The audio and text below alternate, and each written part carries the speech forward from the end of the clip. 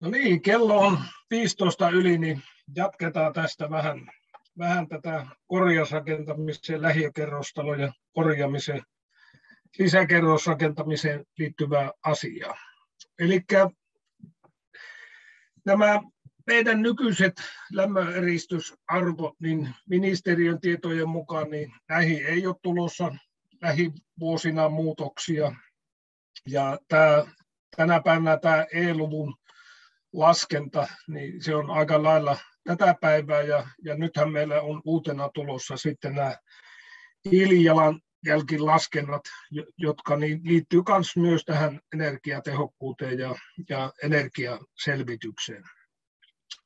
Ja varmasti siellä langan päässä niin, niin rakennusalan ammattilaiset tietää tänä päivänä, että mikä on tämä E-luku, miten se lasketaan, eli sehän on rakennuksen ostettu energia ja energiamuodon kertoimen tulo, ja, ja nämä energiamuotokertoimethan, näitä on osittain syytetty, että nämä on tämmöisiä poliittisia kertoimia, koska Euroopan unionin, unionin eri maissa niin nämä eroaa pikkusen toisistaan. Eli karkeasti ne on tänä päivänä meidän määräyksissä niin, että fossiiliset energiamuodot, niin siinä kerro yksi, sähkö on 1,2, kaukolämpö 0,5, uusiutuva energia 0,5 ja, ja kaukojäähdytys on 0,28.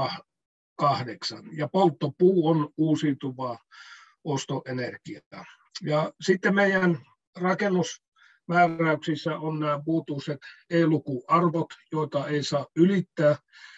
Ja siellähän jos ei joku tiedä, niin sitten on pientalo tai kerrostalo, niin tämä maksimi e-lukuarvo, niin se muuttuu rakennuksen koon suhteessa. Eli pienessä talossa on suhteessa enemmän ulkovaippaa, niin siellä sallitaan suurempi e-luku, mutta taas jos pientalo pinta-alaltaan kasvaa ja nämä haitarit on niin 50-154, sitten seuraava kategoria on 150-600 ja, ja sitten, sitten niin yli 604 niin on pientalopuolella. Tuommoinen maksimi e-lukuarvo ja taas kerrostalopuolella niin, niin on enintään kaksi kerrosta, niin on tämä e-luku maksimiarvo 105 ja, ja sitten jos mennään yli kahden kerroksen, niin se on 90. Ja tämä on mielenkiintoinen tapaus, että sitten kun tehdään lisäkerroksia, niin sitä pitää tarkastella tätä maksimi e-lukuarvoa tuon, tuon, tuon lisäkerrosten myötä. Ja, ja muuten sitten, niin eihän nämä eroa nämä lisäkerrosten ratkaisut, jos ne tehdään puisena, niin millä tavalla uudispuurakentamisen uudispuukerrostalon ratkaisuna. Eli, eli siellä on sisäverhokset, sitten se runko, on se CLT tai rankkaa tai ristirunkoa ja onko siellä jäykiste levyjä. Se pitää tässä muistaa, että me ei saada käyttää niitä puukuutupohjaisia eristeitä, vaikka vaikka kiusaus olisi suuri puurakentamisen kannalta, eli eristen pitää olla paloluokkaa A2, eli tarkoittaa käytännössä kivilasivilla. Ja samaten yläpohjarakenteessa, niin, niin, niin siinä uudispuurakentamisessa on, on se tehty tasoelementeistä vai pilaripalkkina vai, vai tilaelementteinä, niin samalla tavalla uudisrakentamista koskevien määräysten mukaan tehdään, tehdään nuo yläpohjarakenteet ja paloturvallisuus ja akustiset määräykset on, on voimassa, eli, eli siellä puurakentamisen ohella sitä kipsilevyä kyllä tarvitaan.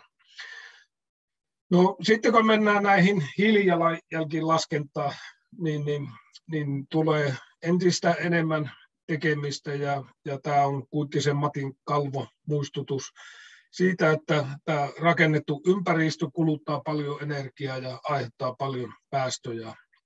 Ja kasvihuonekaasupäästöistä noin 30 prosenttia, primäärienergiasta noin 40 prosenttia ja raaka-aineista noin, noin puolet. No sitten jos mennään näiden lähiötalojen pelkkään energiakorjaukseen, niin, niin on jo viisaat miehet laskenut ja sanonut, näin muista minkä, miltä vuodelta on rakennuslehden artikkeli, että jos pelkästään energiakorjauksen takia korjataan rakennuksia, niin, niin, niin se, se ei kyllä itseänsä niin tämän päivän energiahinnoillakaan niin, niin, niin kovinkaan pian niin, niin hauku hintaansa. Eli, eli pitää olla muutakin syytä korjata kuin pelkästään energiasyistä. Ja jos me tarkastellaan näitä 70-luvun lähiökerrostaloja, niin, niin onhan ne nyt lämmön eristävyydeltä ja energiatehokkuudelta niin surkeita. Eli normaali sandwich-elementti, niin siellä on, on 80 milliä betonia, 90 milliä mineraalivillaa, 40 milliä betonia, U-arvo 0,53, kun tänä päivänä pitäisi olla 0,17. Eli kyllähän näitä siltä kun korjataan, niin tämä energiaremontti niin on tarpeen. No, tässä on sitten pari, pari Svekolta pöllittyä kalvoa, että, eli, eli miten näitä kannattaisi korjata. Ja tässä on, on korjaustapa, jossa on tuotu tämän vanhan sandwich-elementin ulkopuolelle lisälämmöeristystä, mineraalivillaa ja, ja sitten rappauslevy ja ohut rappaus päälle. Ja on päästy niin 76 euroa neliölle, mutta taas jos sitten kuoritaan se vanha ulkokuori pois ja tehdään sitten uutta rakentamista ulkopuolelle, joka kosteusteknisesti on järkevämpää, eli tänne ei jää tänne väliin sitä, sitä, sitä betonikuorta. Tosin lämpöteknisesti se kyllä kyllä toimii ihan hyvin, koska lisälämmö eristetään ulkopuolelle, joka on, on, on aina järkevämpää. Mutta hinta pomppaa sitten 329 euroa netto neliölle. Eli, eli paljon kalliimpaa on tämä, tämä vanhan kuoren poisto ja siihen lisää eristäminen. No, tätä on harjoiteltu sitten Suomessa, niin tätä oli tämmöinen yhteiseurooppalainen hanke, jossa oli, oli Aalto-yliopisto mukana. Se liittyi tähän, tähän CLIck-projektiin myös, eli oli tämmöinen kehitelmä kuin Timber-Based Element System, eli, eli lähiökerrostalojen energiakorjausta tehtäisiin puupohjaisten lisälämmöeristyselementtien avulla.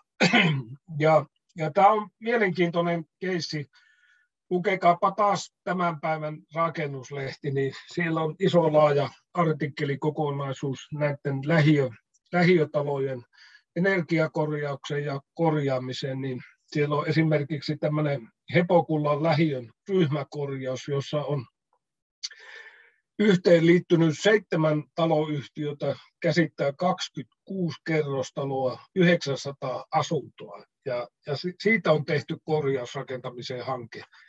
Ja tuntuu järkevältä, että sitten jos lähdetään korjaamaan, niin mitä isompina kokonaisuuksina, niin saavutetaan synergiaetua. Mutta jos mennään tähän yhteen esimerkkiin, joka oli tuolla Riihisa, Riihimäen Peltosaaressa, niin näytän mitä siellä tapahtui. Eli Riihimäen Peltosaaressa oli tämmöinen tyypillinen pesupetonin julkisivuinen lähiökerrostalo ja siinä pääsuunnittelijana oli arkkitehti Kimmo Lylykangas ja se liittyy tämmöiseen laajempaan innovaatioprojektiin.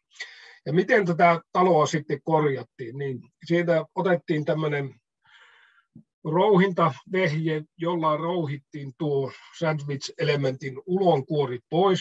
Ikkunat ja ovet sai olla paikallaan, asukkaat pystyivät vielä asumaan paikallaan ja sitten otettiin nuo vanhat vanhan lämmön, lämmöneristeet pois.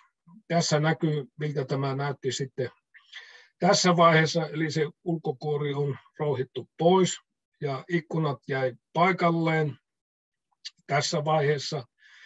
Ja, ja sitten niin mietittiin siihen ulkopuolelle elementit ja näistä TES-elementeistä niin oli sitten esimerkkejä tähän hankkeeseen liittyen niin Keski-Euroopassa, Pohjoismaissa muitakin. Kaikki ei ollut pelkästään asuinrakennuksia, vaan siellä oli kouluja ja päiväkoteja, mutta yhtä lailla niin samanlainen ratkaisu, että puisilla lisäelämä eristyselementeillä korjattiin näitä, näitä rakennuksia.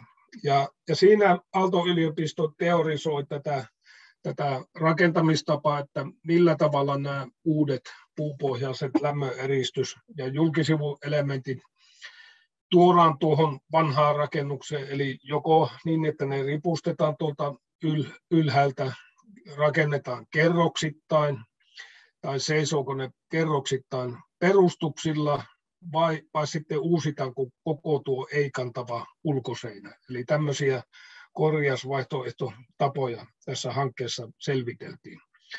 No, tässä on syytä huomata, mikä on sanonut jo aikaisemmin, että jos näitä lähiökerrostaloja korjataan ja jos vaikka käytetään puupohjaisia elementtejä, joka sen keveyden vuoksi on ihan perusteltua, niin julkisivumateriaali voi olla mikä tahansa ja tähän on tämä julkisivuyhdistys julkaisu tuoreen oppaan Eli meillä on mahdollista niin tehdä ohutta kolmirappausta ja tuulettuvina rakenteena levyjä, puuta, ohutiiliverhosta, kuitusementtilevyjä, metallituotteita ja kaiken maailman komposiittilevyjä, mitä niitä tänä päivänä eri vaihtoehtoina on, on, on saatavilla, niin toivoisin, että suunnittelijatkin niin tiedostaisi tämän, että, että silloin kun näitä korjataan, niin meillä tämä materiaali paletti niin on aika, aika rikas saatavilla. Eli, eli on tämmöisiä keräämisiä lankkuja ja ne oli tämmöinen kuin rati-elementti, jota sai sitten verhoiluna ja, ja muina. Eli nämä kaikki on, on käytettävissä olevia ratkaisuja. No sitten kun tätä tehtiin tätä Riihimäen keissiä, niin tämä tietysti laserkeilattiin tämä rakennus ja tämä oli mielenkiintoinen tulos sitten, että näkyy minkälaista heittoa tässä vanhassa sisäkuoressa oli. Eli käytännössä siellä se noin 10 sentin lämmöeristys oli heikommillaan 5 senttiä tai sitten nämä, nämä sisä- ja ulkokuoreen heitot oli, oli niin monien senttien luokkaa, niin, niin osoitti vain se, että minkälaista oli niin rakentamisen tarkkuus ja taso tuohon aikaan. Toivottavasti tämän päivän tilaelementit niin, niin on siellä on sätissä. Eli kysytään, että miten paljon ulkoverhousmateriaali vaikuttaa hiilijalanjälkeen, niin totta kai vaikuttaa. Eli, eli silloin kun lasketaan, niin otetaan huomioon, että mistä materiaalista tehty ja paljonko se valmistus ja kuljetus on aiheuttanut päästöjä ja kuluttanut energiaa. Eli niihin on laskentamenetelmät ja, ja taulukot olemassa. Eli oikea vastaus vaikuttaa. No tässä näkyy sitten, että miten päädyttiin tuolla Riihimäen Peltosaaressa. Eli vasemmalla on lähtökohtatilanne, sitten kuorittiin nuo ulkopuolen eristeet ja tuo ulkonkuori pois, ikkunat jäi vielä paikalleen. Sitten tuotiin tämmöinen pehmeä tasausvilla, kun niin kuin sanoin, niin tuossa oli valtavasti mittaheittoja tuossa sisäkuoressa. Tuotiin paksut lisälämmöeristyselementit, joissa oli sitten paikallaan ikkunat ja ovet, ja, ja sitten poistettiin ne vanhat ikkunat ja, ja viimeisteltiin sitten, mitä sisäpuolelle tarvi, koska tässä uusittiin aika lailla sitten ilmanvaihto tekniikkaa tuohon taloihin. Tässä näkyy tarkempia kuvia. Nämä on Aalto-yliopiston, Aalto-yliopiston sellaisia hankekuvia. Ja se juttelin tuon Pekka Heikkisen kanssa, joka oli tässä Kimmo Lylykankaan ja Yrsa Jurtruutin kanssa mukana, että tämä oli ikävä, että tämä ei sitten niin lähtenyt tuotteistumaan, ei Suomessa eikä muissa maissa, että tämä olisi korjaustapana ihan relevantti vielä tänä päivänäkin. No, tässä näkyy sitten, laskettiin energiakulutusta, lähtötilanne oli 192 kilowattituntia neljätä kohti ja korjauksen jälkeen niin päästiin niinkin alas kuin 20 5 kilowattituntia neliötä kohden. Ja tietysti tämä makso, muistaakseni tämä oli noin 1000 euroa huoneistoneliltä kohti tämä remontin hinta. Ja tässä näkyy sitten, miten Kimmo Lylykangas päätyi tuohon, että, että nämä elementit tehdään niin, että ne on, onkin niin ei vaakasuunnassa, vaan pystysuunnassa. Eli, eli ne oli neljä kerrosta korkeita elementtejä, ja, ja Kimmo päätyi siihen, että koska se on, oli kivirakenteinen talo, niin vaikka tuli puupohjaiset elementit, niin päätyi kuitenkin, että ne tehtaalla sitten rapataan. Eli tässä näkyy, ne on puupohjaisia, nuo elementit neljä kerrosta korkeita ja asetettiin niin pystysuuntaan ja, ja tietysti niin mitä yhtenäisemmät laajemmat elementit, niin sen vähemmän niitä saumoja ja, ja, ja muita on tuossa, tuossa välillä.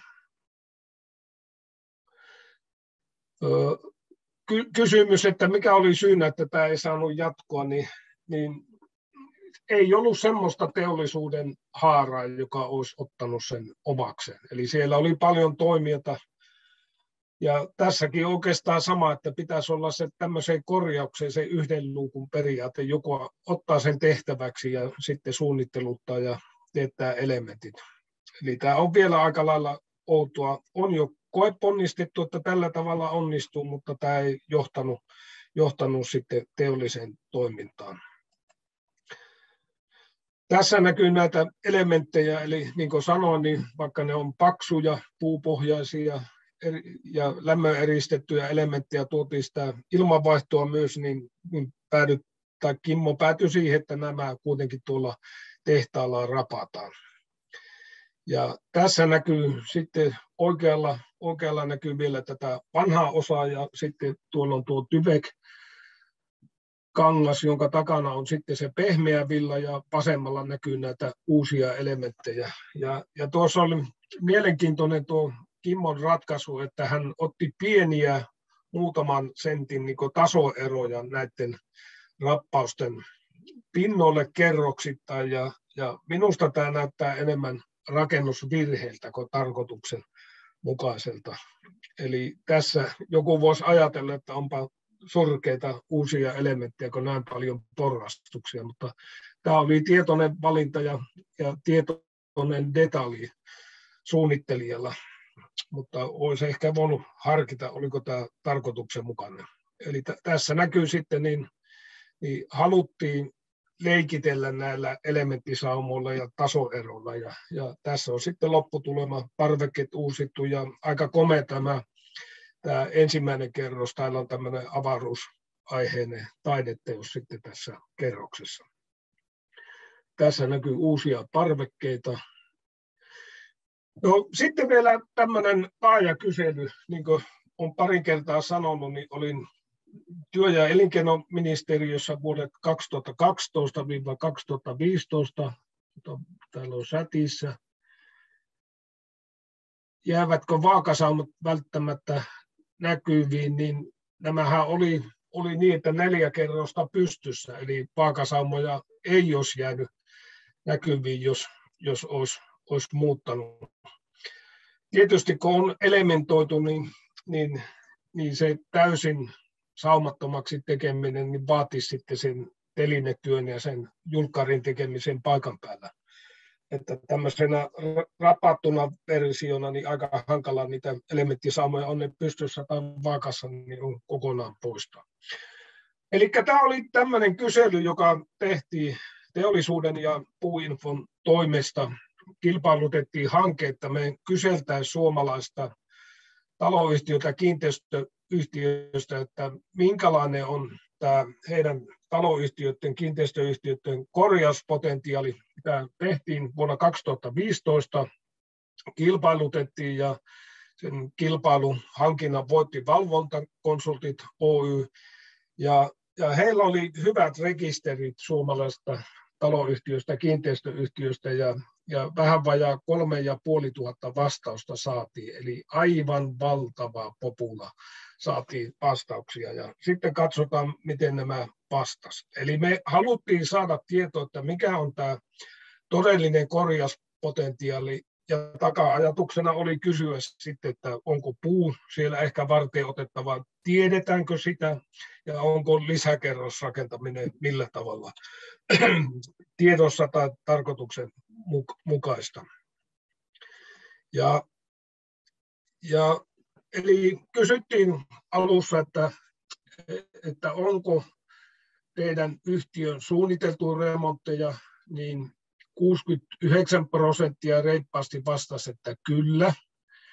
Ja sitten kysyttiin, että minkälaisella aikajänteellä, niin vuoden sisällä vastasi neljännes ja 2-5 vuoden sisällä niin yli puolet. Eli kaiken kaikkiaan 75 prosenttia vastasi, että tulee remppoja viiden vuoden sisällä. Ja sitten kysyttiin, että minkälaisia remontteja on suunniteltu, niin kyllä tämä putkiremontti, talotekniikan uusiminen oli kaikista yleisin. Sitten oli ikkunoiden ovien vaihto.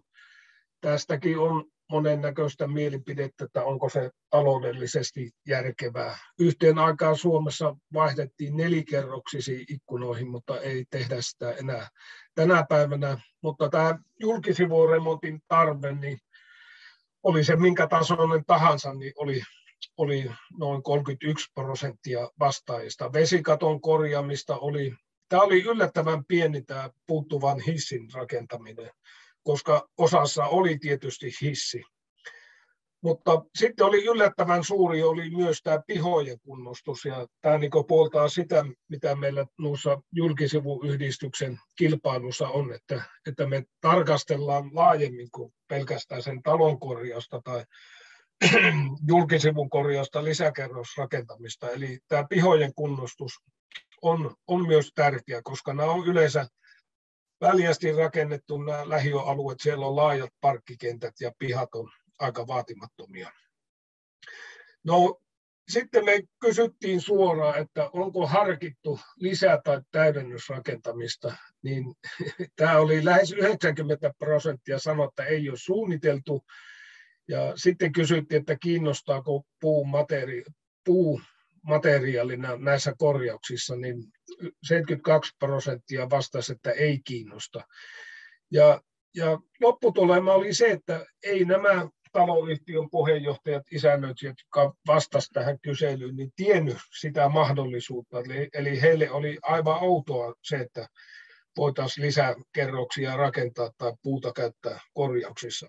Eli summa summarum todettiin sitten teollisuuden ja puuinfon kanssa, että loppausmateriaalia pitää tehdä lisää. Ja tämä täydennyskoulutuskin on osittain sitä, että nähtäisiin mahdollisuutena tämä lisää rakentaminen ja puun käyttö näissä korjauksissa. No sitten tässä on toinen rakennusteollisuuden tekemä korjaus- ja ylläpitotarpeet vuoteen 2019 saakka, niin täällä olikin yllättäen tämä piharakenteet ja salaojat ja ikkunat ja ovet oli yleisimmät. Ja samalla tavalla kuin meidän Temmin kyselyssä, niin julkisivut ja vesikatto ja tämä talotekniikka oli yleisimpiä. Ja täälläkin niin tämä hissien rakentaminen niin oli, aika pienessä osassa, eli täällä oli 7,5 prosenttia sen yleisyys. No sitten tähän Click-hankkeeseen ja TES-hankkeeseen liittyen, niin teetätettiin sitten erinäisiä diplomitöitä, diplomityökilpailuja. Ja, ja kyllähän niin periaatetasolla niin, niin arkkitehit arkkitehtiopiskelijat osaa näyttää, että mikä tämä mahdollisuus on, mutta kyllä tuossa Karviastien kilpailun lopputuleman kanssa eilen juttelin viimeksi ATTn kanssa, niin kyllä niin tämä kustannusten hallinta on haastavaa ja energiaremontissa ja siinä kokonaisremontissa hissin lisäyksessä, niin kyllä lähestytään niin uudisrakentamista, että se ei mene niin aran hinnoissakaan enää korjausrakentamisen piikkiin, vaan se on jo käytännössä uudisrakentamista. Mutta silti se on edullisempaa kuin se, että se vanha puretaan ja rakennetaan kokonaan uutta. Eli kaiken kaikkiaan näissä lähiosan saneerauksissa niin vielä kerran yhteenvetona, eli tämä energiatalouden remontti on järkevää, jos muutenkin on tarvetta remonttiin, jos parvekkeet, julkisivujen kunto, ylipäätänsä talotekniikka ja, ja halutaan sitten rahoituskanavaa näiden remonttien tekemiseen, niin kyllä tämä lisäkerrosrakentaminen, täydennysrakentaminen on yksi järkevä. Ja sitten jos halutaan parempia parvekkeita, viherhuoneita, niitä lisätään, niitä te- tekemään väljemmiksi. Ja, ja tämä hissin rakentaminen, siihen meillä on avustusmekanismit valtiolla, kunnilla olemassa. Ja, ja tietysti niin tämä oli harmi, että tämä ei johtanut teolliseen toimintaan sitten näihin puutuotteeseen perustuvat suunnitteluratkaisut. Ja niin kuin kerroin tuosta, kannattaa lukea tämän päivän rakennuslehti, niin, niin, niin siellä on taloyhtiöt hoksannut, että kannattaa tehdä isompina kokonaisuuksina kuin se, että yksi taloyhtiö tai yksi talo nysvää sitä remonttia, vaan otetaan laajempi skaala, niin saadaan synergiaetua sitä volyymista. Ja niin kuin aikaisemmin sanoin, niin kuin on Tampereella, Pirkanmaalla, lähikunnissa mietitty, niin tämä yhdyskuntaan rakenteen tiivistäminen on ympäristösyistä järkevää. Ja näiden lähiöiden pihojen ja viihtyisyyden ja toiminnallisuuden parantaminen on yksi konsti kanssa. Ja tietysti niin arkkitehtina on miellä, että tässä on niin valtava mahdollisuus näissä energiakorjauksissa, julkisivu, parveke, lisäkerros rakentamisessa. Ja, ja puu puoltaa kyllä paikkansa ja toivoisi tätä, tätä lisää. No tässä näkyy sitten, Tampereella oli yksi, yksi kohde, jossa, jossa niin näkyy tuolla oikealla ylhäällä punaisella nuo kohteet, niin nämähän on tyypillisesti tämmöisiä, puhutaan tuulimyllykortteleista, että siellä on rakennukset, katuverkkoon nähden ryhdikkäästi ruutukaavassa, mutta niin sitten nämä kulmat on auki. Ja, ja yksi mahdollisuus on, että rakennetaan nämä kulmat umpeen ja sillä tavalla ei tarvitse puuttua tuonne pihoihin eikä muuhun, mutta tietysti tällä tulee paljon rakennusoikeutta, saadaan näyttävät kulmapalaset tuonne, mutta miten järjestetään sitten, sitten pysäköinti, niin se on yksi kysymys. Tässä on sitten yksi kohde, jossa on kans tuo kulma otettu käyttöön ja sitten eri tavalla lennokkaasti tehty noita, noita lisäkerroksia. Tässä on Tomi Tulamo Aalto-yliopistosta, teki diplomityönsä tämmöisestä, en muista tarkalleen tämän, oliko Riihimäeltä tämä kohde, mutta tässä on tämmöiset pitkät lamelli, lamelli lähiökerrostalot ja niitä on uusilla parvekkeilla ja tällä lisäkerroksilla kattoterasseilla parannettu.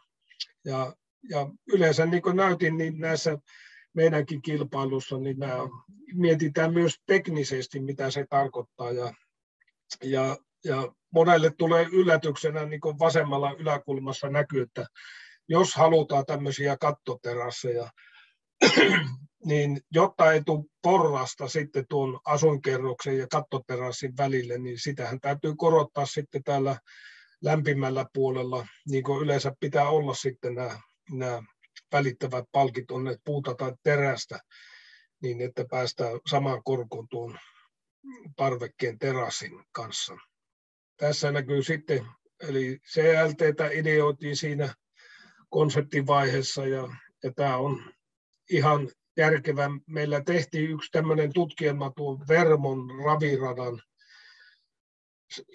tämmöisten pesupetoni sandwich-elementtien alastiputtamiseksi ja korvaamiseksi sitten CLT-pohjaisilla ja puisilla lämmöneristyselementeillä. Ja se on edelleen Vermossa harkinnassa, että lähdetäänkö siihen korjaukseen. Tässä näkyy hyvä periaatekuva, että tämmöinen parveke voi seistä, seistä omilla puisilla levy, kantavilla levyrakenteilla ja muutenhan puu on ihan perusteltua sitten tämän puujulkisivusaneerauksen ja puun lisäkerrosten kanssa, niin vaikka CLTstä tehdä nuo parvekkeet. Eli viimeinen kuva tästä sessiosta, niin, niin näiden lähiöiden korjauksissa niin puulle löytyy paikkansa jos tehdään täydennysrakentamista, jos tehdään ennen kaikkea lisäkerroksia, jos uusitaan piharakenteita, jos halutaan puuta tuoda sitten asuntoihin sisäpuolelle, jos nämä on niin kuin ne on P1-luokan rakennuksia, niin puun tuominen sisäpuolelle, niin se on täysin sallittua näihin betonikerroksiin. Ja tietysti sitten, jos on kaksi lisäkerrosta, niin pitää sprinklata ja sinne tulee sitten uudisrakentamisen tavoin niin rajoituksia niille puupinnoille. Sitten tietysti parvekkeet, kattorakenteet, julkisivut.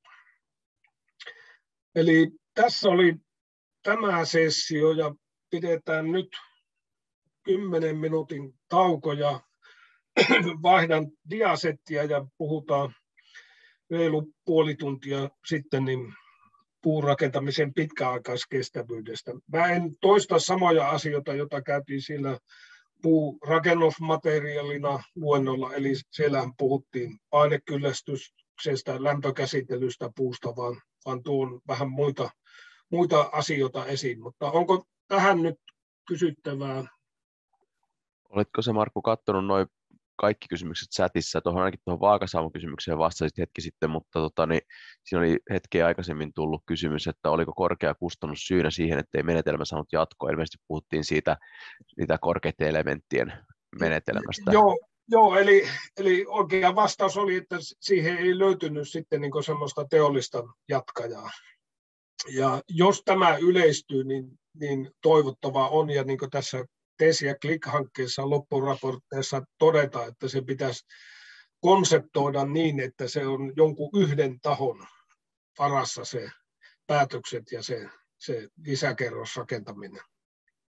Eli yrittäjiä tarvitaan ja, ja, ja... Niin, pitäisi olla semmoinen yrittäjä, että jos se niin palastella, että siellä taloyhtiö lähtee vajalla ammattitaidolla kilpailuttamaan suunnitteluun ja välttämättä suunnittelija ei, ei tiedä tätä lisäkerrosrakentamisen ja puun käytön mahdollisuuksia, teknisiä ratkaisuja ja tuleeko siihen erikseen sitten urakoitsija ja sitten vielä erikseen elementtitoimittaja ja niiden yhteensovittaminen ja muu, niin totta kai se olisi järkevää, että se olisi yksissä käsin. Jeps, tota, sitten tuossa oli toinen kysymys, oli myös hetkeä aikaisemmin edellistä, eli tota, miten paljon ulkoverhousmateriaali vaikuttaa hiilijalanjälkeen? No si- siihen vastasin, että totta kai vaikuttaa ja, ja samalla tavalla se lasketaan sitten näissä korjauksissa niin kuin uudisrakentamispuolella, eli siihen on olemassa laskurit ja lähtöarvot ja totta kai se vaikuttaa materiaalia. Eli massansa, massansa verran materia- käyttämänsä materiaalin niin kuin, mukaan. Ja tota, mutta sille ei ole sen suurempaa, suurempaa merkitystä nähty niin kuin esimerkiksi energiatehokkuuden niin kuin parantumisena tai muuten tälleen näitä ulkoverhous, ihan viimeinen verhousmateriaali, niin sille vissiin ei anneta niin kuin varsinaista merkitystä taas sitten niin kuin energiatehokkuudessa. Niin, no energiatehokkuus lasketaan, minkä, paljon, minkä verran se parantaa ja mikä on sitten tuleva U-arvo ja sitä kautta E-luku ja, ja sitten lasketaan hiilijalanjälki sitten tälle tekniselle ratkaisulle. Jep. Eli, nämä on ne nykyiset arviointimenetelmät. Mutta niin tuota, jatketaan tasalta kello 11.00. Että tämä... No niin, mä laitan tiedon chattiin, niin tota, palataan sillä ruudun ääreen. Joo, ja kysymyksiä voi heittää tuonne chattiin, niin käsitellään vähän tätä pitkäaikaiskestävyysproblematiikkaa puurakentamiseen liittyen.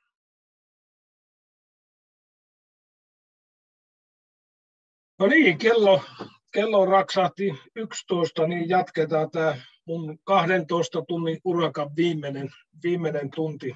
Ja tässä on aiheena puurakentamisen pitkäaikaiskestävyys ja siihen liittyviä asioita ja pohdintoja.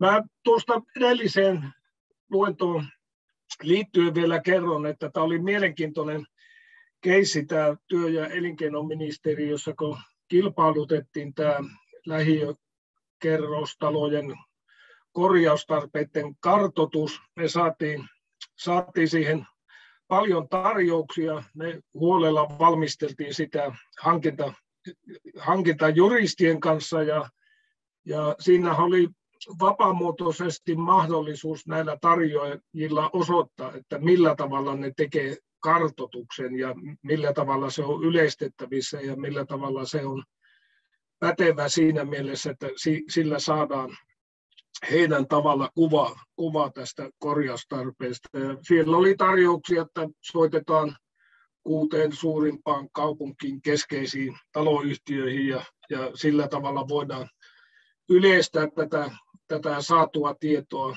Mutta tämä valvontakonsulteilla oli laaja, laaja niin verkosto näihin talo- ja kiinteistöyhtiöihin ja niin kuin näkyy, niin saatiin kol, lähes kolme ja puoli tuhatta vastausta siihen kyselyyn.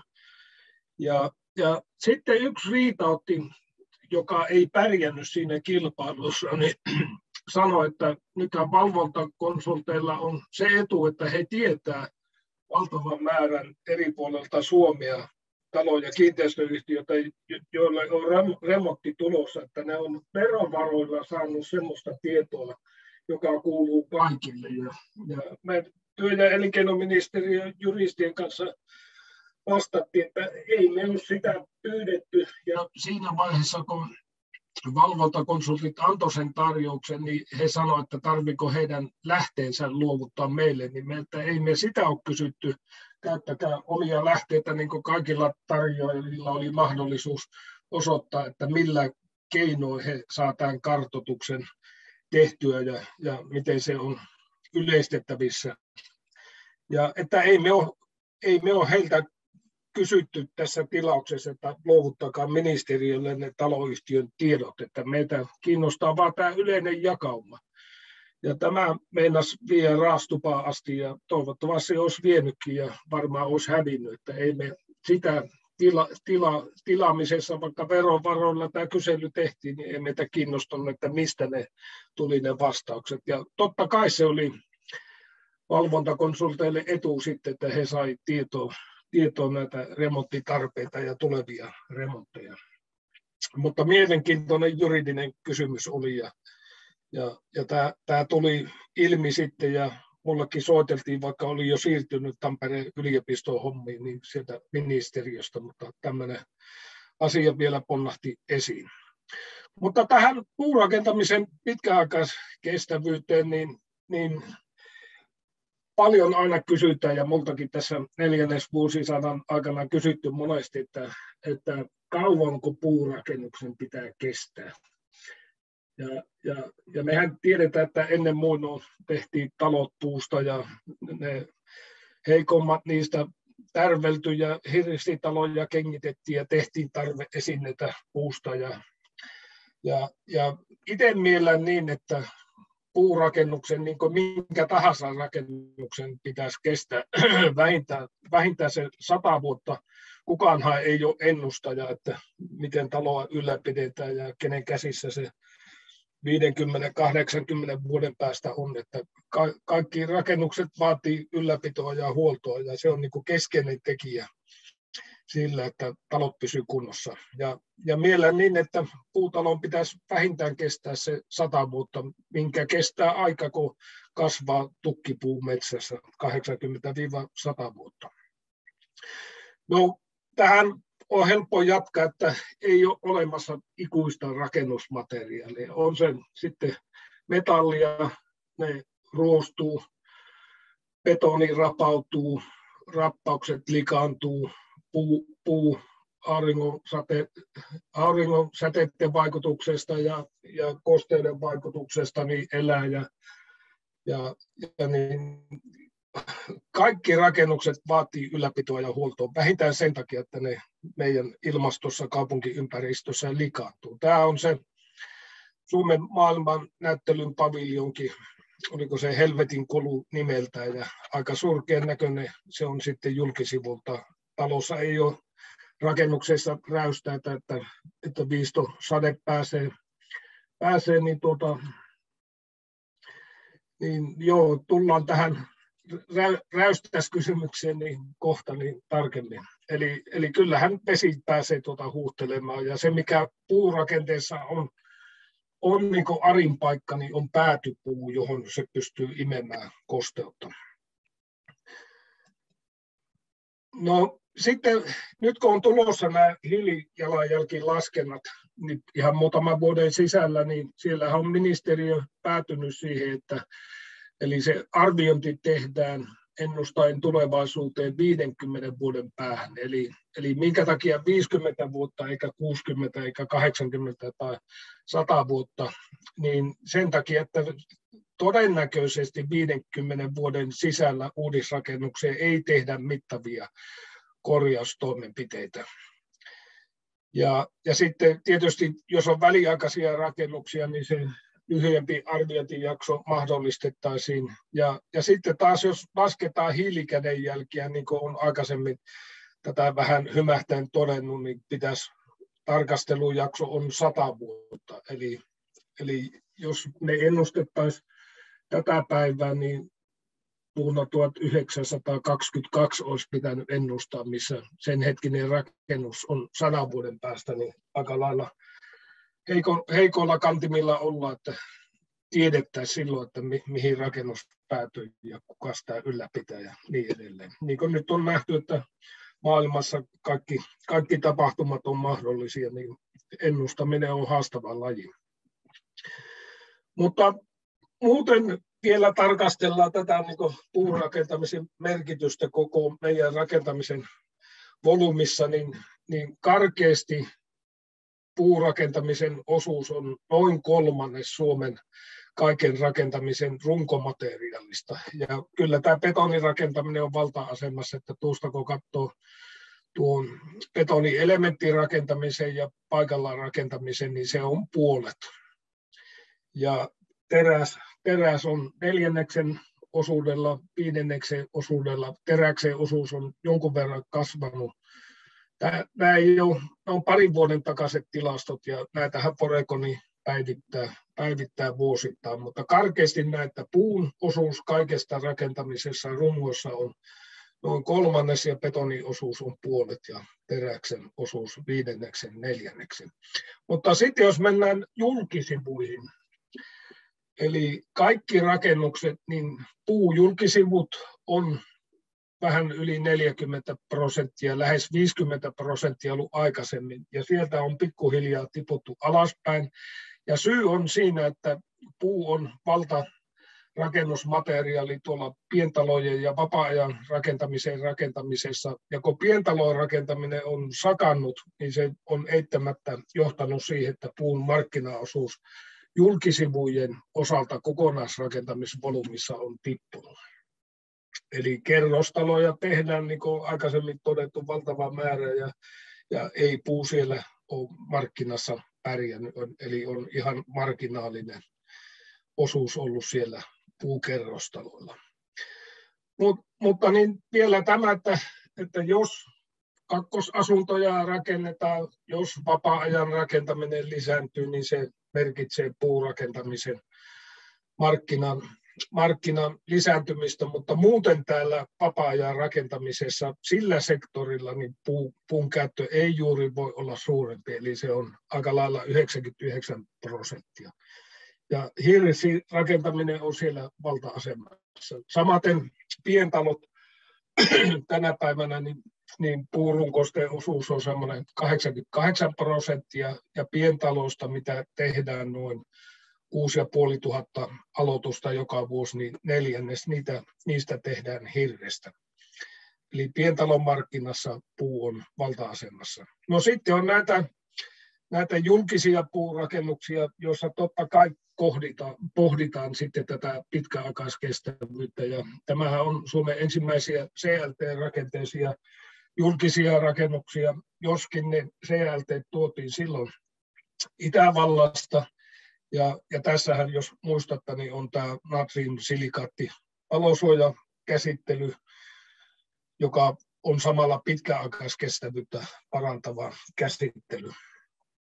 Ja, ja sitten meillä on näitä julkisia hirsirakennuksia, joissa tietysti on pohdittavana se, että että niin käytetäänkö räystää tai maalataanko näitä. Tämä on Pudasjärven koulukeskus. Puupalkinnon sai 2016 valtava määrä teollista hirttä ja vierailin täällä muutama viikko sitten ja ihan hyvässä kuosissa tämä on sisältä ja myös ulkoa, ulkoa säilynyt. Tietysti siellä etelän julkisivun osat, vaikka ne on peittomaalattu, siellä on myös sitten kyllästeisiä osia, niin kuin tässä oikealla seinustalla näkyy, niin tietysti siellä se auringonvalo ja, ja osittain viistosateen vaikutus näkyy näissä, näissä pinnoissa. No sitten on eri ratkaisuja tälle, tälle niin julkisivun käsittelylle. Tää, tässä on sitten puupalkinto 2018 Kuhmon Tuupalan CLT-koulu, joka on ihan merkittävä iso julkinen puinen koulurakennus ja siellä arkkitehtitoimisto Karsikas päättyi niin, että siellä, siellä käytetään lehtikuusta täällä julkisivussa ja sitä ei ole sillä tavalla käsitelty, että se olisi peittomaalattu. Ja sehän ajan oloon nukkaantuu ja harmaantuu, ja mikä on tämmöinen keski-eurooppalainen tapa käyttää puuta. No sitten on tämä Mansikkalan puukoulu, jossa on käytetty erillä tavalla puumateriaalia näissä verhoksissa ja käytetty tämmöistä kyllästysmenettelyä. Sitten jos menetään paraatin julkisivun taakse, niin siellä on mielenkiintoisella tavalla näkyy niin puun käyttöä ja tässä tällä pystytekstuurilla on mahdollistettu se, että nämä lautojen jatkokset on tuolla, tuolla suojassa. Eli sillä tavalla edustaa niin suht pitkäaikaiskestävää julkisivua, että talosta löytyy räystät ja täällä on kiinnitetty huomiota sen, sen puun käyttäytymiseen sitten julkisivussa ja viistosateessa. Ja tämä sai vuonna 2020 puupalkinnon kunniamaininnan. No, sitten jos me tarkastellaan näitä eri puurakentamisen tapoja, niin totta kai tähän kestävyyteen ja huolettavuuteen liittyy paljon se, että miten se on tehty. Eli hirsirakennus, joka on massiivista puuta, niin on mietinnässä, että pitäisikö siellä olla kuitenkin sitten se uhrautuva kerros siellä julkisivupuolella. Ja kenties se on järkevämpää, että jos on vaikka täysin massiivipuinen ulkoseinä, on se CLT tai hirttä, teollista hirttä, niin, niin onko järkevää, että se massiivipuu pääsee sitten sään kanssa suoraan tekemisiin. Tietysti rankarunkoinen talo on aina aina helpompi, että siinä on se kantava runko, on valittavana sisäverhous ja sitten julkisivun verhous, joka on uusittavissa, huollettavissa, vaihdettavissa. Eli, eli tämmöinen korjausystävällisyys niin on, on minusta niin puurakentamisen yksi, yksi parhaita puolia, että se pystytään helposti korjaamaan, jos, jos puhutaan vaikka rankarunkoista rakennuksesta. Samaten pilari palkkirunkona, eli se kantava puurunko on siellä säältä suojassa, ja si, sitten on erikseen ne julkisivuelementit. Ja samat lainalaisuudet CLT tai LVL, massiivi puulevyrungossa, jossa ei, ei ole järkevää sitä CLT-levyä päästä ulos sään kanssa tekemisiin, vaan siellä olisi järkevää olla, vaikka ei ole lisälämmöeristystä, niin olla se uhrautuva rakennekerros. Ja tällä tavalla minä ainakin itse opetan perusrakennusoppia meidän tuleville arkkitehdeille, että, että se puurakentamisen etu on se, että jos tehdään tuulettuva julkisivu, käytetään sitä puuta sitten millä tavalla pystyy vaakaa rimalautana, paanuna, päreenä, niin, niin se on se huollettavissa oleva, oleva osa. No, sitten paljon on epätietoisuutta, jos mennään tuonne kerrostalopuolelle, puukerrostalopuolelle, niin näistä verhoksista, että minkä verran sitä puuta saa käyttää. Ja näitähän me on sivuttu ja tiedoksi vielä, että nämä nämä kalvot on kaikki siellä puuosaamista Pirkanmaalla verkkosivulla, että jos, jos työssä tarvittetaan itse jollekin esitelmää pidättä, niin ne on ihan vapaasti siellä käytettävissä. Mutta niin kuin kerron asukaspalautteessa, niin kyllä asukkaat mielti se, että jos puu, puuta halutaan ja halutaan kerrostalon rakentamiseen, niin puu on, on ihan hyvä ja toivottava rakennusmateriaali myös siellä sisätilossa. No, kysytään, että onko tervapaperi riittävä höyrysulku, niin ilmansulku on, on tarpeellisempi kuin ihan puhtaasti höyrysulku. Että tervapaperi hyvin suojattuna levyverhoksen kanssa niin on riittävä. Mutta muistakaa se, että puukerrostalossa te ette voi käyttää puukuutueristeitä, jota perinteisesti on sitten tervapaperin kanssa käytetty, koska ne pitää olla A2-paloluokkaa. Ja muistakaa se, että P1-luokan betonikerrostalossa niin pystytään käyttämään D-luokan verhouksia, vaikka kaikki seinät ja lattiat, eli sitä ei ole rajoitettu. Mutta sitten kun mennään P2-paloluokkaan, tähän puukerrostaloluokkaan, niin sen palavan rungon ja sprinklauksesta huolimatta niin ei saa käyttää ihan vapaasti joka paikassa puuta kantavissa ja osastoivissa seinissä. Totta kai ei kantavat ja ei osastoivat seinät ja lattiat saa olla puuta. No, sitten tämä pitkäaikaiskestävyys, niin tähän oli, muistan silloin neljännes vuosisata sitten, kun aloitettiin tämä puukerrostalo leikki ja kehittäminen Suomessa, niin tämä oli aika lailla räystäs tai ei-keskustelu. Ja, ja oikealla on keittomaalilla maalattu 2003 puupalkinnon saanut Oulun Puulinnamman puukerrostaloalue. Ja tuosta näkyy hyvin, että kyllä etelän julkisivu ja koset viistosateelle on alttiina ja täällä valittiin sitten koemielessä keittomaali, niin onhan se kovalla koetuksella. Ja, ja sitten vasemmalla ylhäällä näkyy niin uutta ja vanhaa keski-eurooppalaista arkkitehtuuria ja, ja siinä on räystätön rakennus, vesi huuhtelee tuota puujulkisivua, se nukkaantuu, harmaantuu. Ja tietysti tämä on myös sitten kokonaisvaltainen ajattelu siitä, että myös sitten se maalauskäsittely pitää olla terveellä pohjalla, että maalataan kuivaan kuivaan materiaalin ja pölyttömään ja ei missään nimessä jäiseen ja mielellään tehdasolosuhteissa. Ja, ja sitten tämä oli aika lailla lateksi keskustelua myös silloin tämän puukerrostalojen alkuvaiheessa, että oli väittämä, että lateksi on hyvä maali, kun sen pitää purkissa eikä missään nimessä laita, laita seinään. Että aina on järkevä, että on tuulettuva julkisivun verhos, niin silloin sen sen maalauskäsittelyn, pintakäsittelyn pysyvyyskin on parempi. No, sitten tämä räystäs keskustelu, niin tästähän arkkitehit pizzaillut. Tässä on arkkitehti uutisista 2006, että arkkitehti synninpäästössä kertoo, että on suunnitellut räystään. Ja kyllä tämä ikävä kyllä on dilemma, kun katsoo meidän opiskelijoiden kilpailuja ja muuta, niin minä itse olen ainakin vahvasti sitä mieltä, että pienessä rakennuksessa räystään merkitys sen julkisivun suojamiseen on ihan oleellinen. Ja jotkut, jotka on tehnyt näitä ilmavirtaus- ja piistosadetutkimuksia, niin sanoo, että niillä on merkitystä myös korkeammissa rakennuksissa.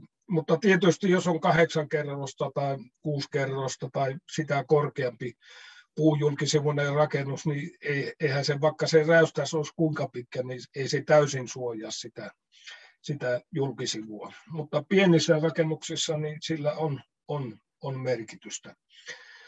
No sitten on näytetty kuvia. Tämä on keski-eurooppalainen tapa ja, ja siellä on ihan yleisesti vallalla sellainen käsitys, että puun kuuluu ottaa home pilkkua, sinistyä, nukkaantua ja harmaantua. Että se on puun luontainen ominaisuus. Ja, ja nämä on aika jänniä sitten, kun katsoo siellä uutta puujulkisivua, niin, niin, niin siellä missä on räystästä tai lippaa, niin se hitaammin harmaantuu siltä osin, mutta ajan kanssa niin tämmöistähän siitä tulee. Ja meidän pohjoismaalaisten silmissä, kun me, me on mielletty, että puurakennuksen pitää maalata värin takia ja suojauksen takia, niin nämä vaikuttaa kummalliselta. Ja taas heidän mielestä niitä on ihan oikea tapa rakentaa, että tämä puujulkisivun maalaaminen on ylläpito ja huolto ja kustannuskysymys, ja ne ei halua sitä tehdä. No näin, näinhän me opetetaan, että jos tehdään puujulkisivua pitkäaikaisesti kestäväksi, niin pitäisi käyttää paksua lautaa, mielellään yli 25 millistä. Meillähän on saatavilla jopa 16 millistä, 15 millistä julkisivun lautaa. Ja näissä tuottavuusluokkahankkeissa on mietitty, että jos pitää alentaa kustannuksia, niin alennetaanko vaikka julkisivun verhoksen paksuudesta, saadaan muutama tonni hintaa pois, mutta minun mielestä se on väärä, väärä paikka säästää. Tietysti pitää olla laadukasta tavaraa, vähemmän halkeamia, vähemmän oksia. Ja niin kuin puhuttiin, niin Suomesta saa laadukasta tavaraa, mutta siitä pitää pystyä niin se määrittelemään se laatu ja pitää pystyä myös siitä tilatessa niin, niin maksamaan. Eli ei automaattisesti saa huippulaatua, jos haluaa karvasesta laudasta maksaa. Ja tietysti mahdollisimman kuivaa ja ennen kaikkea niin suunnittelupuolelle ja arkkitehtipuolelle niin tämä detaljointi on äärimmäisen tärkeää, että miten se viaton vesipisara, joka joutuu tuolle julkisivulle, niin ei imetys peltien raosta tai päätypuuhun tai jatkoksiin. Ja kyllähän tällä pintakäsittelyllä on merkitys ja, ja tätä kysytään aina ja silloin kun kävin tämän rakennusliikkeiden rakennuttajien kierroksen puukerrostaloajatuksista, niin, niin kyllä heidän mielessäni tämä puujulkisivu on, on negatio sen ylläpidon ja huollon ja, ja pitkäaikaiskestävyyden kannalta. Ja korostan vielä, että tämä ylläpito ja huolto, joka on Suomessa paljon paremmalla kantimilla kuin esimerkiksi naapurimaassa, on, on nähnyt, että siellä vaikka pätkä syöksytorvia puuttuu ja vesi valuu seinille, niin se ei ole ikään kuin kenenkään asia. Ja, ja, ja niin tuota, kyllä ne rakennukset saadaan ja rakenteet vaurioitumaan.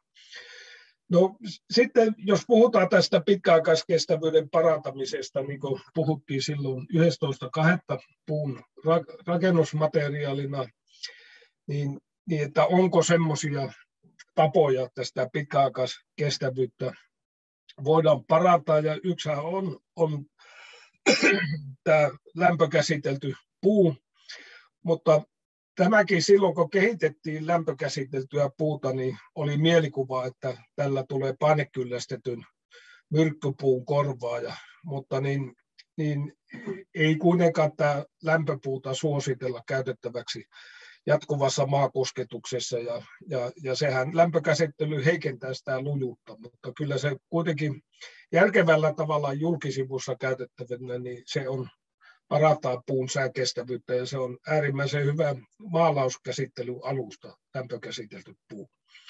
No sitten on näitä uusia oppaskonstikäsittelyjä, joista jo mainittiin, niin tämä akkoja käsittely, jossa puu kuivatetaan ja se sitten asetylisoidaan, eli käsitellään etikalla.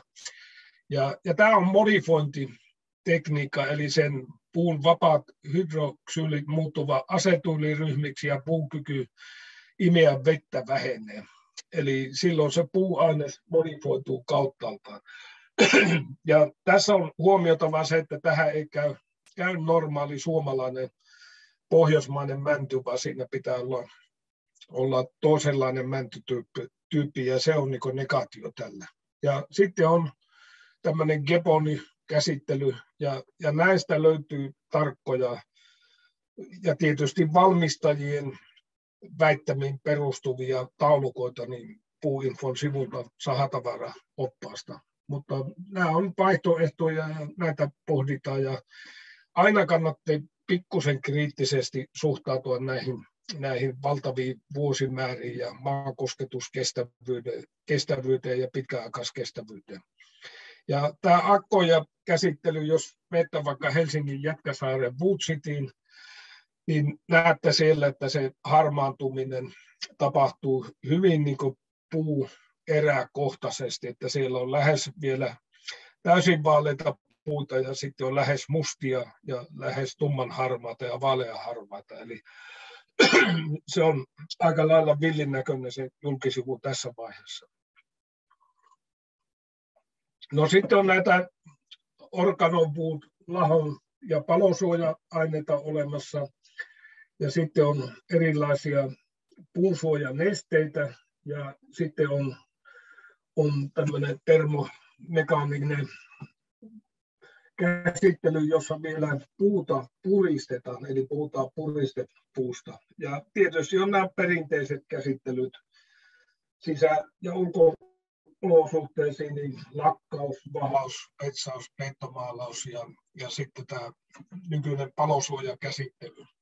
Ja niin kuin siinä puun rakennusmateriaalisessiossa käytiin läpi, niin, niin Tukesa on, Tukes on anteeksi, testannut näitä palosuojakäsittelyjä ja heidän testeissään niin vaan kaksi palosuojakäsittelyä täytti ne arvot, mitä, mitä valmistaja väitti niillä pääsevän.